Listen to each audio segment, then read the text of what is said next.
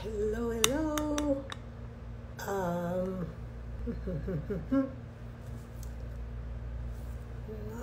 do, do, do. Am I on the right way? Yay! Hey, Julie. All right. I'm gonna wait for a little bit for everybody to join. Yippee! There's Julie. Yes, I can see you, Julie. Awesome. I'm going to let me see. Uh, uh, uh, Can you, for some reason, hold on. Ah, invite to join. Okay. All right. Let me do a, a quick introductions first on this IG Live before I invite you, Julie. Um, so after that, what am I saying? So let me just do the introduction first. All right.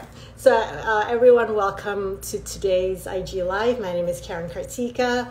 Uh, this is one of the many live interviews that I'll be doing this month for the, you know until until I finish interviewing everyone that I'm interested in interviewing. Um, the folks that I'm interviewing today and and almost my and all of my other um, IG live will be self-made business women and men who thrive both in their professions or in their own businesses, doing what they love and still out there pursuing what they want. These people are people that I truly admire, uh, and honestly, these are you know just people that have the same traits as you. We're high achiever. We want to experience life more than what you know what we have, um, and there's always no limit to what's next. And if you have been putting your passions or putting your dreams on the side, thinking that it's never going to be mine, it's not the best time to do it, can never be me, I hope that any of these interviews will inspire you uh, to start taking actions, to really commit to make it happen because we're never guaranteed tomorrow. Today is all we have. So let's bring in Julie right now. Let me invite her on. Hold on. Julie, I just invite you. Can you see it? Hi there. Yay, oh Hi. Hi, this is my very first Instagram live, so let's just wait. Okay. Can you hear me okay? Yes, I can hear you. Yes. Okay. Well, welcome to your first Instagram live. yes, this is. Oh, uh, like, how do I get in? What do I do? So I know I saw your email like 15 minutes ago. I'm like, oops, I haven't checked my email. how are you? We haven't we haven't chatted since before you went on your book launch, right? Yes. Booked right before that. Yes. So um, I am, you know, I'm doing pretty well. I'm just like there's just lots to lots to be grateful for and so yeah i'm very hot too because it's a very hot day here in seattle yeah yeah we can bitch a little bit about the weather yeah. like 110 where i am right now which is i'm like wait i thought summer is over how come it's 100 degrees now what's the temperature like in seattle it i actually don't know but it's it's hot right now i actually i did i do not i know it's not 110 so I know it's not 110. So considering yeah. it's Seattle, yeah, mm-hmm. mm-hmm. it's never hot. Yeah, Karen, how are you doing? I'm doing fine. I'm doing great, actually. Yeah, and I'm I'm really um I'm really honored and grateful that you say yes to this IG Live interview. Yeah, well, I, I've uh, thank you for inviting me, and also for being patient with my kind of ignorance on how to go about doing it. So, no problem, no problem. I know you're you're used to be in LinkedIn, and I'm like, hmm, maybe I'm bring her into this thing because I really love the reel that you created. That mm-hmm. was that was spot on. I'm like, oh my god, this woman is funny too. Yeah, and that I kind of bumbled my way through that one too because people were asking me afterwards, "What was your strategy?" I was like, "I had strategy." so, so yeah. All right. Well, okay. So a lot of my um, people that you know been watching me or in my circles are um, all these high achiever women and men who have multi talents and some of them are thriving both in their professions or you know whatever business that they're starting to create on the side. But there are a few more bigger percentage who are putting their dream on the side thinking it's never going to be me it's never going to be the right time. And you have jumped from academia into newspaper into launching your own you know uh, business and then becoming a writer and a speaker. And you seem to continue like whatever is in front of me i'm just going to grab it because i love doing it. So please do share like what what were your paths like? Like what really um what really made you say yes to like what really come to your mind? Like did you like i guess it's that silly question like do you have a strategy or it's more like oh my god this is exciting. I'm just gonna take a you know yeah. so Karen let me um, I'll share a little bit about just like those those different pivots because I know that your um, your audience are just hey what's my what's my next change? What's my what's that next transformation? Yeah. and so for me I actually spent uh, I spent most of my 20s getting my PhD in history. So I went straight from undergrad to grad uh, and and I was just like, I'm going to be a professor. That's what I'm going to do. And I did all the right things to be an academic. Mm-hmm. Um, I managed an academic journal. I, I got to teach at um, at my alma mater. I um, you know I published in peer review uh, journals. And then towards the end, I remember it was I was finishing my dissertation, and I was living in Hanoi at the time, and I I kind of just and it was 2008, and I kind of just looked inside. And I was like, I I don't think I don't think this is what I want to do. Mm. And I mean, I just made an investment. I mean, this is, I was about to turn 30. This is like, I just spent all of my 20s doing this. And my, um, my family has a Vietnamese language newspaper. They were uh, the longest running Vietnamese language newspaper in um, uh, Seattle that's privately owned. And my brother was asking me to come back to Seattle to help out. And, and I kind of, I, I looked, this is that, I was like, I looked inside I looked down, I was like, this is not what I wanted. It's not what I want to do. Mm. And I did not want to go into academia. Oh. Did not oh. want to go into academia. And so, and I, and I realized like I actually want to go into business. And um, here my, my brother was asking me like, Hey, can you help out with the newspaper? And, and I was just like, you know what? I think this is the time. I mean, I did apply for one more postdoc um, and I didn't get it, which is not surprising because it's like 2008 recession. Every everything was getting slashed, right? Yeah. And um, but it was actually a really big. I mean, I remember feeling that she's like, "This is, I don't want to stay in academia," um, and and also feeling this is the thing that I've trained for like for so long like yeah. isn't it a waste and i ask i hear people ask that all yeah. the time like, isn't it a waste but i studied this i did this and so so um so instead, I decided to come back to Seattle, and that was 2008. It was the start of the recession, mm. the worldwide recession, mm-hmm. and the start of the decline of the newspaper industry. And here I am working at a paper newspaper, right? like, and newspapers are shutting down across the country. Yeah. So, so how did that make you feel? Like you're I was I'm, I'm so sure scared, so scared. Guilt of like, oh my god, I've just spent the last twenty years of my life investing in this. Now I'm coming into this that is like, I don't even know if there's a future to this. So oh yeah, no, I was so scared. I mean, and it was there was because I didn't know. I mean, aside from my parents and the community that we serve, like I didn't. None of my friends were entrepreneurs.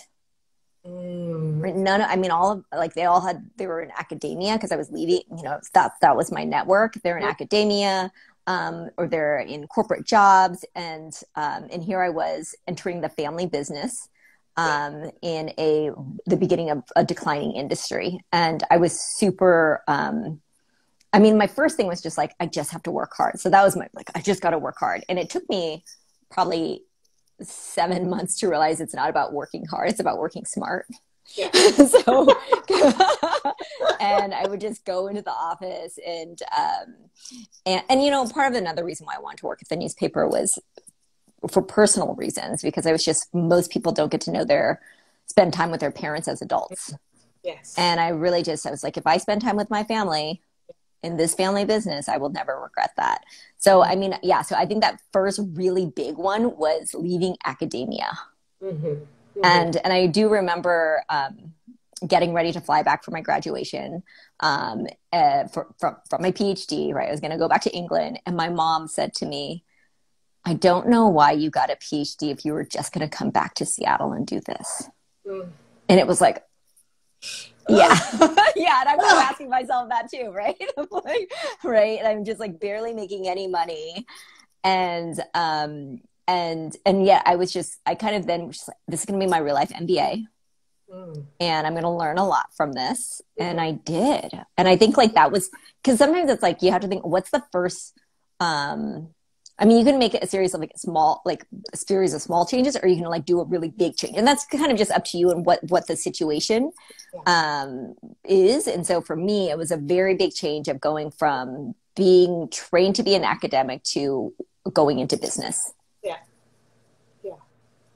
and and then from there i stayed at the newspaper for three years and i learned so much. And then i started and i was doing tons of volunteering and networking and i got what i call my real life mba which is also i mean something for people to think about is like how do i learn? Sometimes i think sometimes people think if i go back to school it'll it'll give me the answer. Yeah. and and i um and I had actually even considered getting, should I go back and get my MBA? My dad was like, you were too old. And I was just like, I just spent most of my 20s in school. I'm not going back to school. And I'm going to learn how to do this by doing it. right. And so, you know, and so I was just, and so it's just like, no, I'm going to learn how to, I'm going to learn all the things that I need to learn um, in business by just running a distressed business during a recession. There's not even a case in an MBA of dress business, okay? right? And like a niche ethnic business, right? And um, and I did that for three years, and then I then I actually networked my way in, and I got into um, Microsoft, and so I went from you know like I, I describe it as I worked with eight people, half of whom had the same last name as me, right? And I need to go to their org, and then I that I like work at this tech company that's got over a hundred thousand people and um, and then I spent the next nine years in tech, like then going to another small, then going to a small tech company um, where I remember meeting the CEO and because I was I, my contract wasn't renewed at Microsoft, mm-hmm. meeting the CEO and of this small tech company, and we were just having a chat. And the next day, he's like, "I um, I need a marketing manager. I know you don't know anything about this. I'll teach you everything I know." Mm and I think I think you're really smart and you'd be fun to work with. What do you think? And so that's what I did, and I was there for um, about like a year and a half. Another, you know, and then like and then uh, I joined um, a nonprofit, which I never thought I would join a nonprofit. Wow. I never thought I would join a nonprofit because I really love entrepreneurship, and I never thought I would do that. And and yet I got to be in a very entrepreneurial position there. And so I was there for six years. It was the best job I ever had. It was a, a wonderful place. Um, and then in the middle of the pandemic, I decided to, um, I kind of looked inside. I think every change has been like looking inside and it's like, is this it? Is this it? You know, that's the question. Like, because the thing that drives me is fear of complacency. Ah. Like fear of like, is, is this, it's not actually like so much about like, it's not about achievement. It's like, what am I, am I going to still be learning? Um, so I, that's learning is actually a huge motivator for me. Is that one of your value then? Mm-hmm. Okay. Um, wow. Okay. So I have so many questions, but I'm going to start first. Um, I like the, the, I like the way that you're positioning that sometimes you know just to when you want to learn something, not necessarily you, you have to go to school. Like you can learn by doing.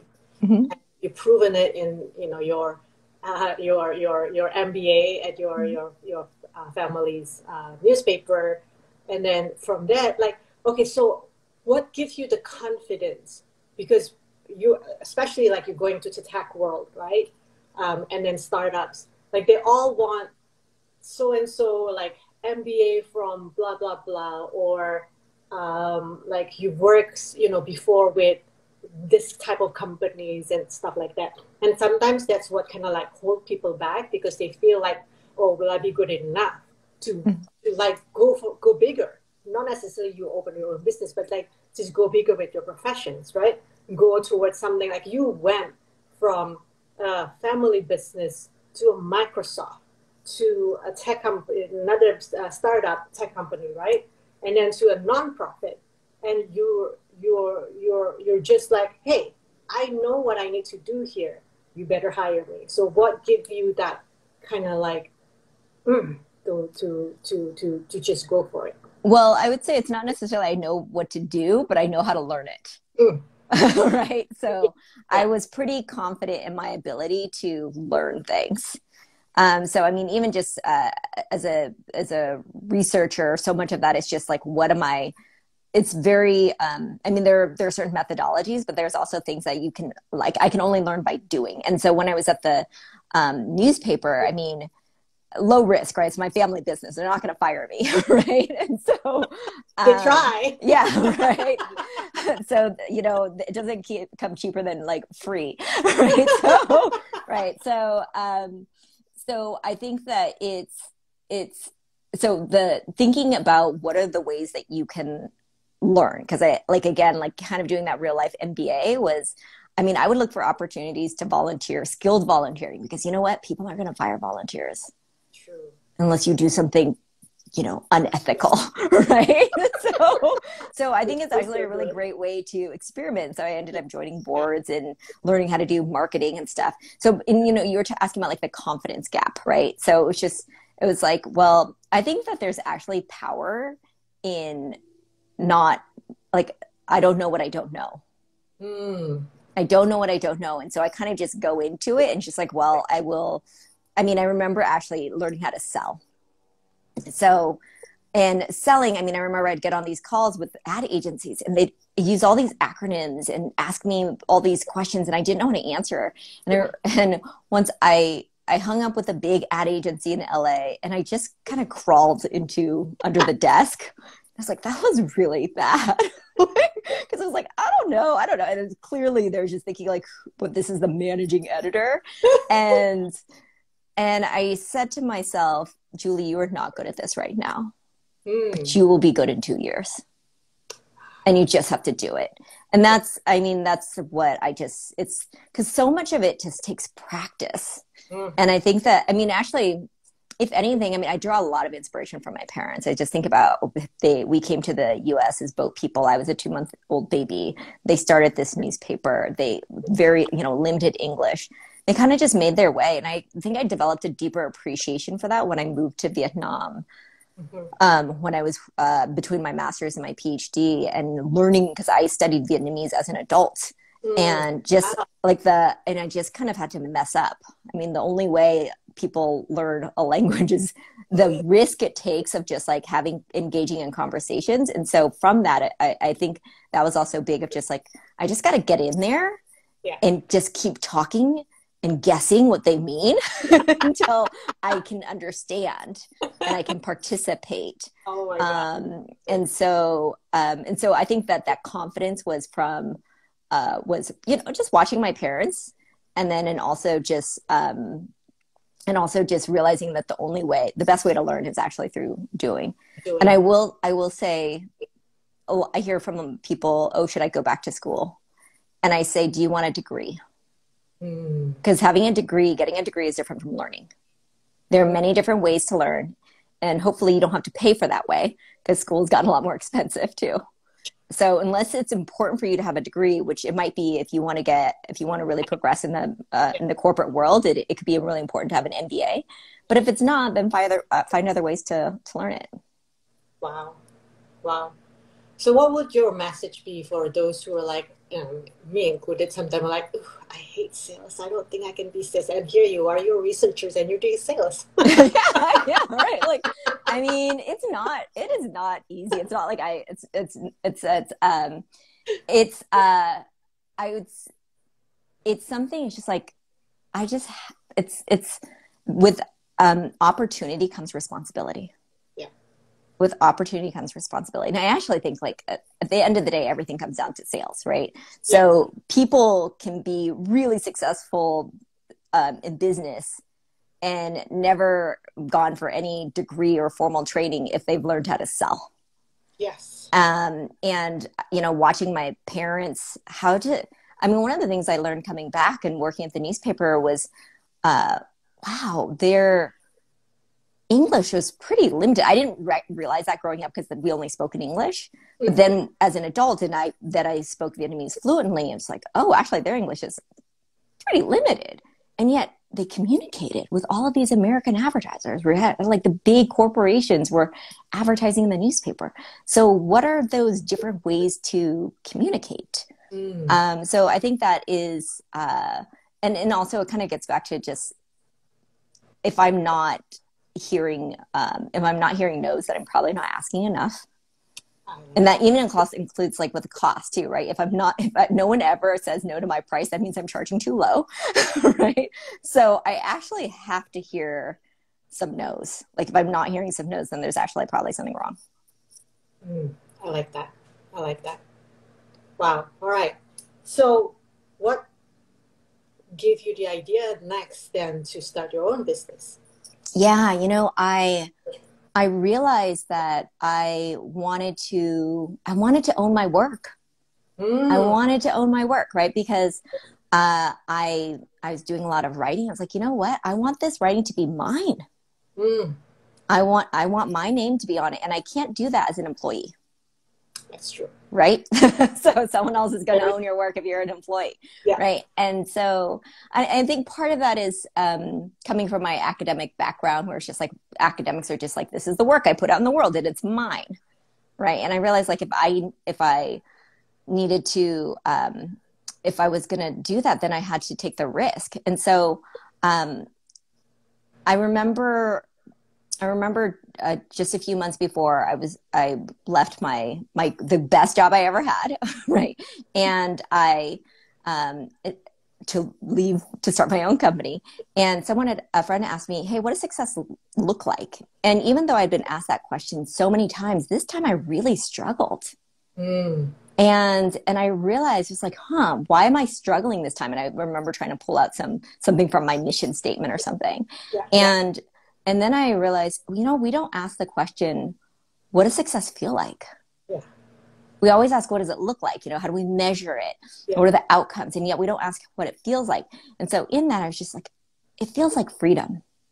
Mm. I need freedom. And so, um, and so I actually ended up later on developing this into a framework. So the question, so we, I, I, like to compare the question of what does success look like to what does it feel like? And then when we ask the question, what does it look like? The follow up question is, what do you need to do to get there? Right? Like people are just, well, what do you need to do? What are the activities? Yeah. And so in asking the question of what does success feel like, I think we should ask, what do I need to stop doing? What's uh-huh. preventing me from feeling that? So we can compare a to do list and a to don't list right? Like, what are the things I should be doing? What are the things, what are, and what are the things to stop doing? And so, in that, I said, if I want to feel freedom, you know what I need to stop doing? Asking permission. Asking permission. I was constantly in a place where I had to ask permission. Wow. Right? And so, and then and we talked about, I said, with opportunity comes responsibility. Right. And so, to take that risk it's like i've got to do things that that that's that goes along with i'm taking i'm taking risks right i'm responsible for that yeah. so yeah and, and i will say remember telling my dad it was a hey i'm gonna leave my mm. great job in the middle of a pandemic my great executive job in the middle of a pandemic and i really thought he would be um, I, I thought he would be really worried for me uh-huh. and you know he said i'm so happy for you Wow. He said, I'm so happy for you because now you will have freedom. And in the US, people can always lose their jobs. Yes. You will now never lose your job because, you know, I create my own job. And I realized that even though I was afraid of what he was going to say, it totally makes sense because he and my he and my mom started their own business. They left. Uh, he he was an engineer before, and he left the firm so he could start a newspaper. Wow. Yeah, being settled in a job and taking a risk. And mm. the thing, I, like the way that you're, you're, you're positioning the freedom of owning your own job. Mm-hmm. Right? That is, it's never going to leave you because it's your own. Mm-hmm. Not in, nobody's going to fire you unless you fire yourself, of course. But it's like you, you, you put in the hours, you put in the investment, and it's it's always going to be yours. Nobody mm-hmm. else yours. Such a freedom. I like that. I like I like that that reframe or you know that the way that you create that uh, what you know the the the well, it is a reframe, right? Like, yeah. Because business, a, people just like, oh, is it going to be make profit? Is it going to give you that achievement that you look like, oh yeah, now you are a business owner? But it's it's actually more than that. It's actually more than that. And I think, I mean, I think a lot about why my parents came to the country, right? I mean, it was to escape communism. This is for freedom. So there's so many that is, it plays such a strong part in my life. And then, and even just, even when I wrote my book and I decided to self publish it, and part of that was because I wanted the freedom to choose how I was going to do that book. I mean, even though I'm trained as a historian and I know how to do lots and lots of footnotes and I've done I don't know, so many footnotes in my life. I actually intentionally only have two footnotes in this book, and they're both going to the same source because it was like, you know, I don't have to prove I know how to do a footnote, right? like I, yeah. I actually, and so even that, like the for me, that freedom of not of, of basically setting my own terms was a, a very big theme because in that actually there's um, there's a lot of uh, energy that we spend thinking about things. And and one of the things once i started my own company one of the big surprises was like oh i there's a lot of email i don't have to write. Right?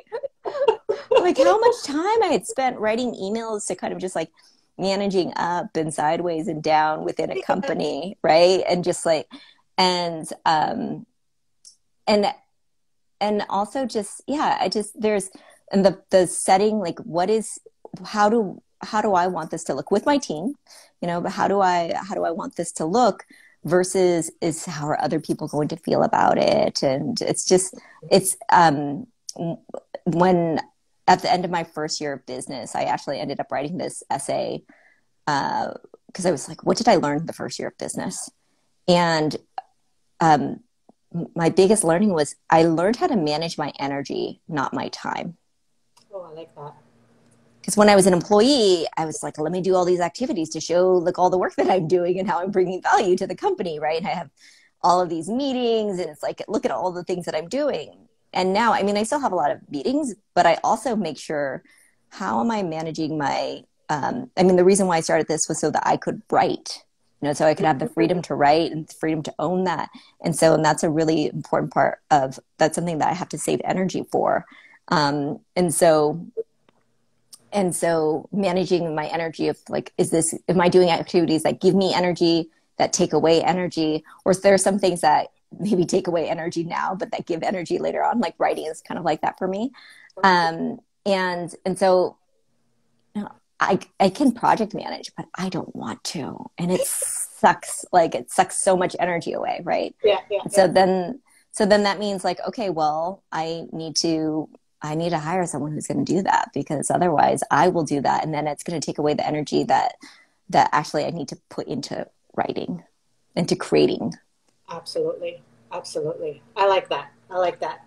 Um, that is very true though. Like, because, um, yeah, one of the freedom that I got from owning my own business, I don't really have to sit in in meetings that I hate. Yeah. right? Right? because that takes my energy more than actually, you know, anything else. Because yes. the minute that I leave that meeting, I'm like, I need a nap. right. Right. And because, like, I mean, that's another, but like, there are so many bad meetings. Oh my God. People just love putting meetings for some reason. Like every status update, every little things, every little movement. I'm like, really? Why do we have emails to begin with? yeah, yeah. No, I mean, I just, uh, yeah, I'm, yes, meeting overload, um, and then having the freedom to decide, hey, this is where I want to put my energy, and also kind of blocking it. It's just like, hey, like for example, for me, I know I work best in the morning, so I spend a lot of the my creative I try to do anything that involves being creative in the morning and um, not, you know, I'm not going to do email. like, so yeah, that's not the best use of my brain power. Mm-hmm. There you go. So what, one of the questions that I sometimes wonder is like, like you, you mentioned like, oh, you know, now that I own this business, I can create um, how I want my business to look like, feel mm-hmm. like, right? Um, but then a lot of people who are starting up um, me included, we are so kind of like, okay, this is a new thing. Although, as you know, as much of maybe some business background that we have, and you know, been in uh, business again for other people or other corporation, but the minute I have to step into my own, it's like, ah, trying to adopt somebody else's, you know, um, templates, metrics, uh, ways of doing things, because we also been embedded with the conditionings that if you want to move your things fast, you want to get your success fast, then the easiest way to do it is follow somebody else's step. Mm-hmm. Okay, right? That cookie cutters or like that formula is a template that we often been given to just like, and then of course, then we spend a lot of courses and mentorships and all of that, which are all of, you know, some of them are great. I'm not, I'm not going to lie. Some of them actually got me to the place where I need to be. But you're just kind of like, I, you know, this is me.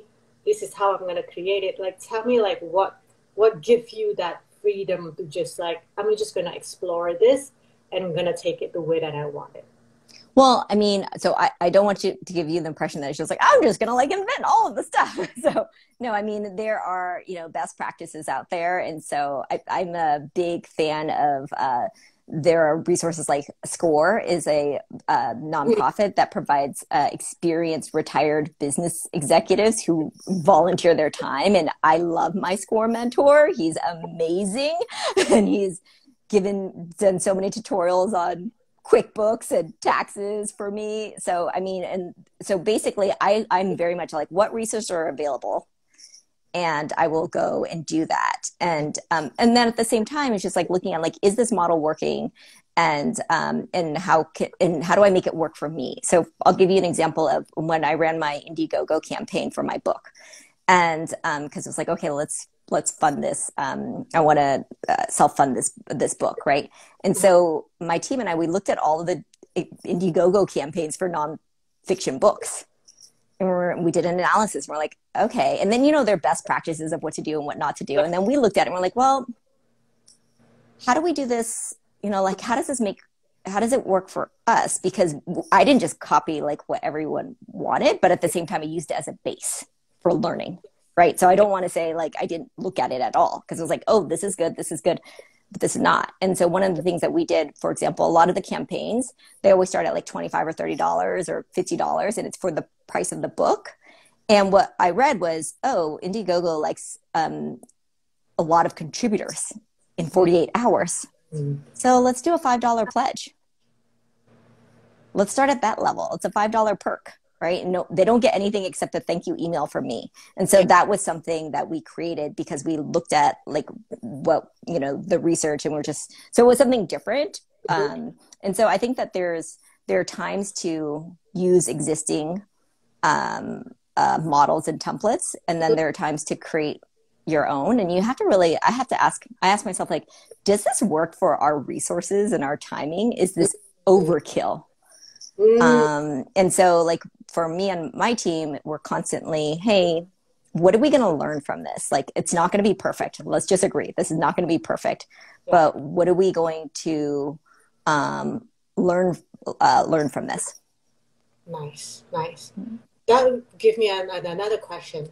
How much of your decision making based on strategic plan, um, you know, good plan or thinking, how much of it is a percentage some you know of that decision making come of like i think this you know you're either you're taking a chance or you intuitively or like something just kind of like no but i need to go that direction kind of thing. Oh i mean i think probably at this stage of the business is probably more of the latter than the former. Mm. so we i think we're like very opportunistic. Yeah so it's like and it's a lot of it is actually listening to the customer Nice. So, I mean, so that's the thing. It's like I can't predict what the cus. If if I were doing that first, like here's the formal strategy, then um, you know this is what they say. But actually, what we do is like, oh, customers seem to like this. Yeah. You know, or like, um, so let's try this. So yeah. even, I mean, um, I mean, my very first service, uh, starting my business was a was what does success look like and what does it feel like and so we mm. created these workshops where it was like for individuals at first, and then we were able to later uh, revise it for companies and for teams, right? And so it was very much okay. Well, what are we learning, and then how do we? What's the opportunity here? Uh, we I ended up creating a digital course much earlier than we thought we would. Like like I've been oh you got to start this you got to do a digital course and um and I was like oh yeah it's gonna be like three years from now and we actually created it at the end of our first year. Wow. And it's not. I mean, Karen, it is not it is not doing well. I know, but you know what? We're learning from it, and that's okay. Yeah. Because I think sometimes it's also you just got to start. Like I just have to like once the sooner we start, the sooner the learning starts. Yes. So um, so yeah, I think it's it's a mix of looking at what the opportunities are and also seeing what's my tolerance for investing mm-hmm. um, in that um, and yeah and and like i mean i can look at other digital course creators and it's like okay i know this formula works. We just need to figure out how to get it to work for us. Yeah yeah yeah yeah.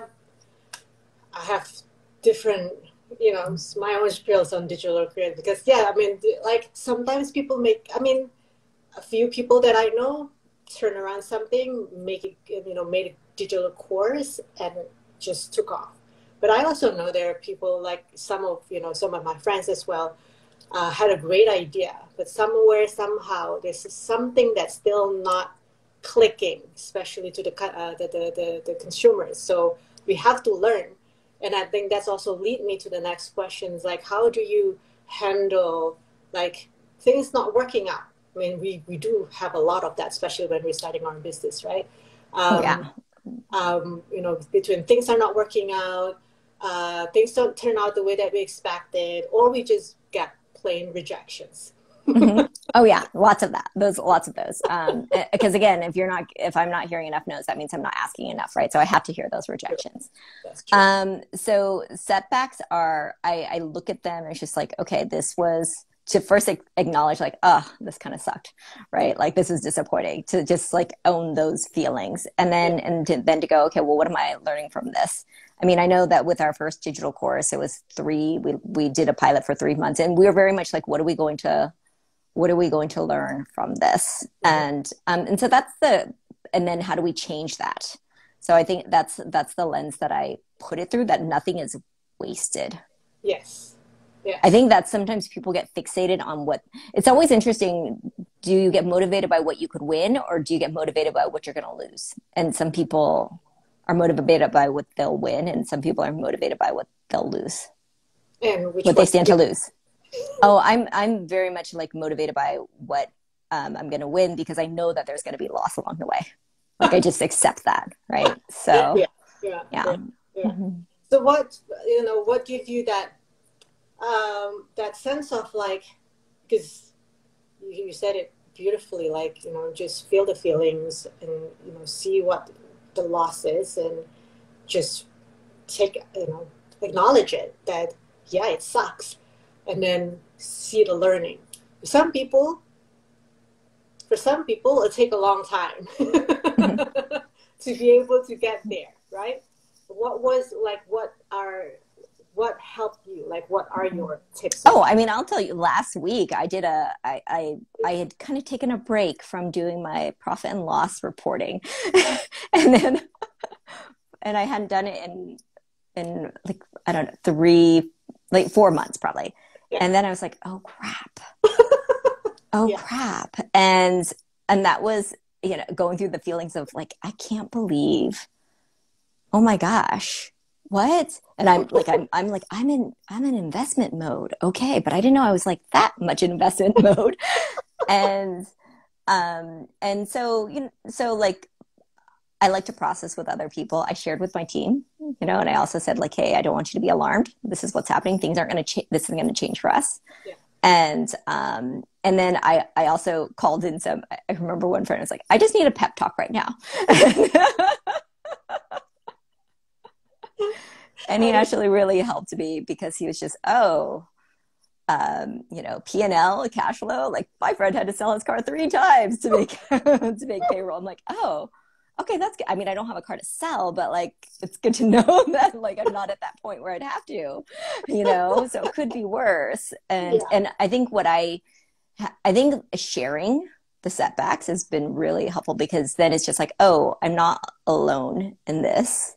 Because I think that was the initial feeling. I felt like, oh my gosh, how did I not? Yeah. How, how did I not do this? Like check this earlier. I mean, I've been I've been really good at checking. Like, how did I just like stop? Yeah. And he, um, my friend just pointed out, look, we um, we all have so many things to do and there are going to be some things that fall and and so and like and so you know my big learning from this is like all right i've got to be like super religious rigorous about this so and then yeah taking that as a lesson. Love it.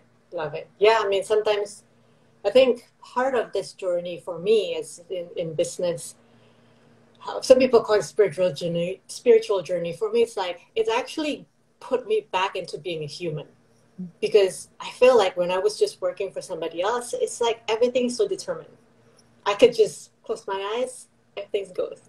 But with, with, with the business, it's like not just like owning the part of me that there are the great stuff, but there are also things that I need to improve, right? Mm-hmm. Um, as well as just you know the connections that I get from other people and seeing like we all go through the same things, up and down, uh, you know, good, bad, crazy, not crazy, and just give me a sense of like, okay, I'm still human, apparently.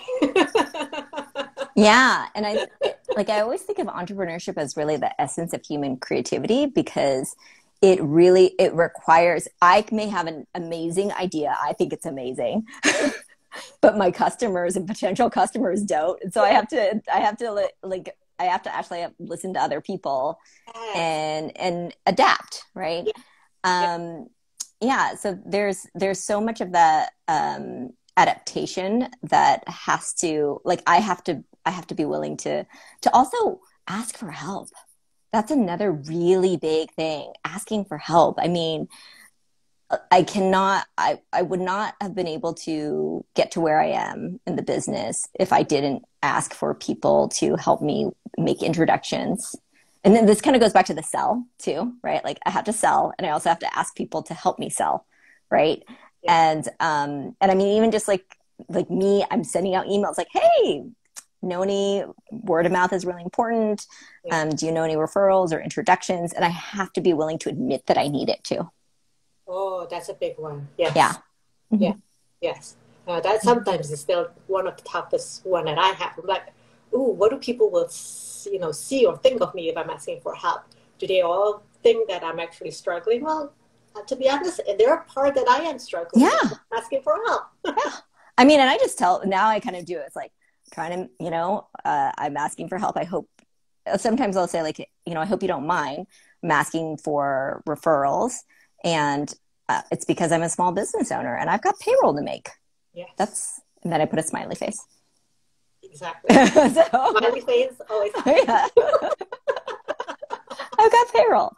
Exactly. So, you know, actually, something I found is that a lot of people are willing to help because I find that some people are kind of living vicariously through me.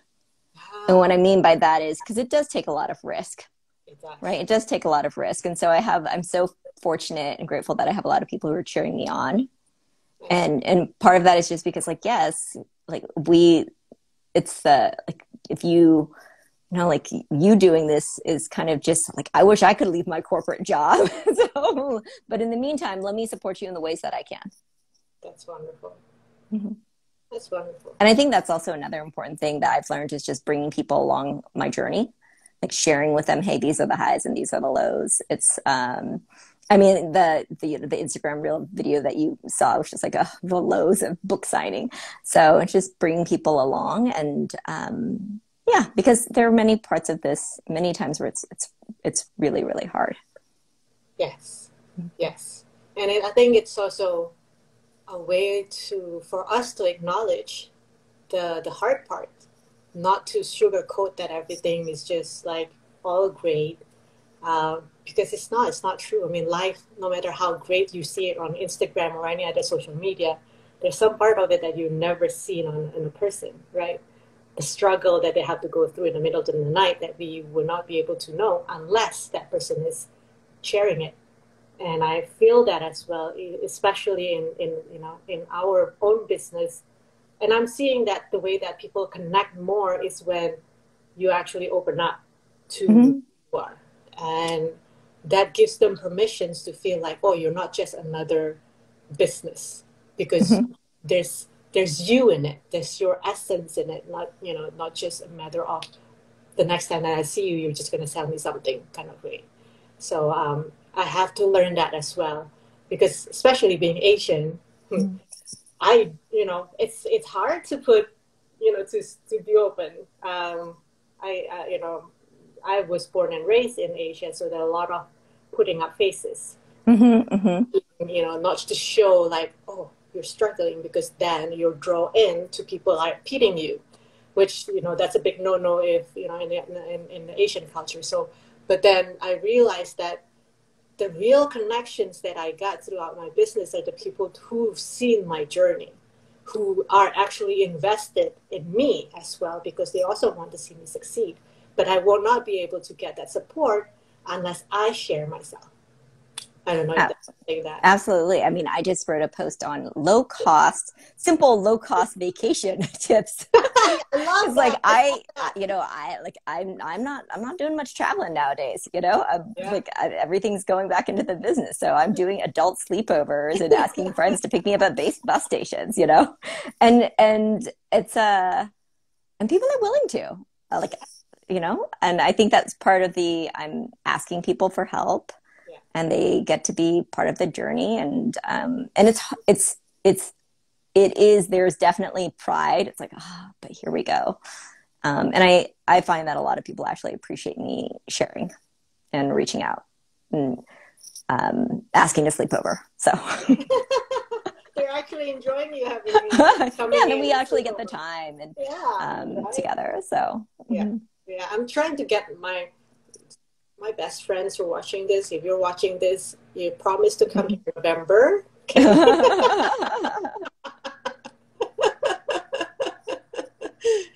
All right, so we're we're almost at the, uh, the top of the hours, and um, I'm gonna scroll a little bit and see if anyone have any questions. We have here Julene, Tony, Diva, hey Dottie, Teresa, Frank, Frank said, I really like this dialogue. Thank you, Frank, for listening. Linda, Thank you, Frank. Uh, Mikhaila Culverson, uh, and I don't know how to say the Inspired Health and Wellness, and CXY. If any of you have any questions, you can type in in the comment and we'll definitely answer it for you. One last question for me. Um, what keeps you motivated? Oh, definitely my team definitely my team. I um, I knew from the beginning that I would not do this alone, even though that meant I would be going into investment to do that.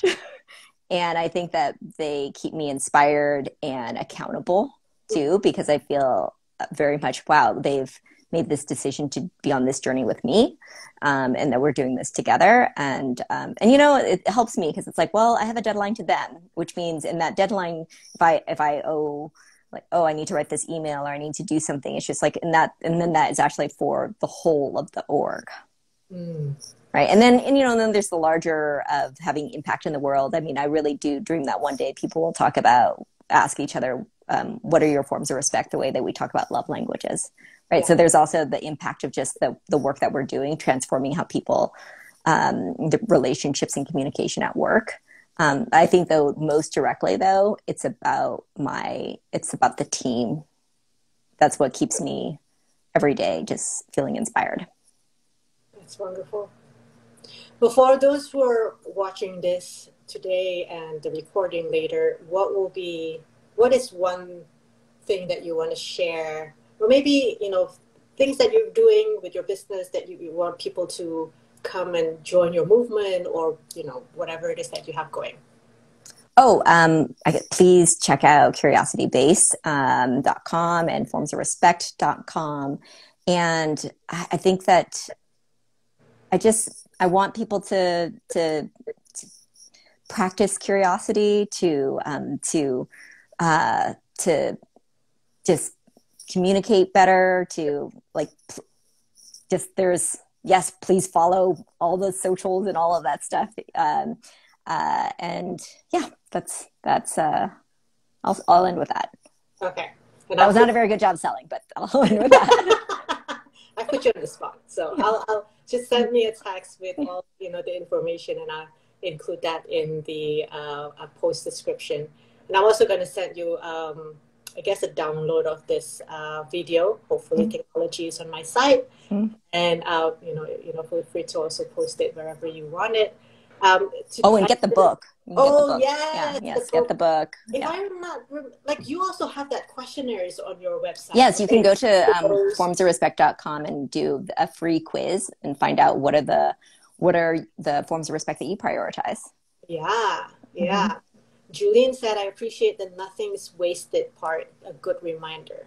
Mm-hmm. Excellent. Yes, nothing is wasted. All the things that we learn, whether it's good, bad, learning, all you know all give us um, all put who we are today and mm-hmm. who we are next so nothing got wasted all right wonderful um, one curious question mm-hmm. what's next for julie what's next is to keep uh, keep doing the work i mean we're just we're just really excited about the about the the essays, the classes, and just and I just keep doing the work because one day we know it's like okay, this is gonna pop. So like we just have to. That's it's just being in it. Yeah, yeah, yeah. yeah. yeah. For those of you watching, uh, Julie is very active in sharing a lot of her thoughts on Substack and LinkedIn. Mm-hmm. Uh, and I definitely will put that link in the description as well. All righty. Karen, um, thank you so much.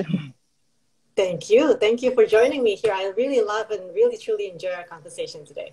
Thank you. like My first Instagram live. I know. I'm Thank glad you. I actually do this with you so that yeah. you can actually do this Instagram live for the first time. yeah. For many more to come. Thank you. All right.